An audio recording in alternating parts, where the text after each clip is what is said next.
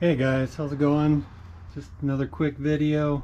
Uh, just wanted to share here. I went ahead and ordered some kit from uh, R&G over in UK. Went ahead and did their uh, swing arm spools here. Um, they do make a, a kit, um, another company, I can't remember who it is, where they have uh, spools back here that'd be on the rear axle nut. Um, convenient if you just uh, need to maybe do some quick lifts or something. But if it's something where you had to actually work on your wheel, uh, the spool wouldn't do you any good here as you were having to try and remove this axle to remove the wheel. You'd be kind of stuck.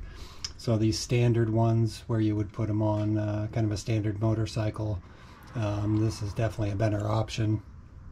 Uh, one thing to note on these, the throw on them's really, really tiny which would be the actual travel distance um, in here where they would mount to.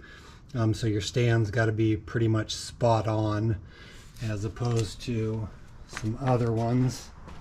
Come over here to this one where you can see there's a, a, a good amount of throw um, so your stand doesn't have to be spot on for you to get a good contact and then it's just got the raised lip on either side to catch that. Um, but these ones definitely, um, you got to be right on the money. You don't have a lot of wiggle room there. So anyways, just wanted to share that. Um, got those on there and that'll be nice uh, for storage and if I need to work on the chain, um, get the back wheel off or anything like that.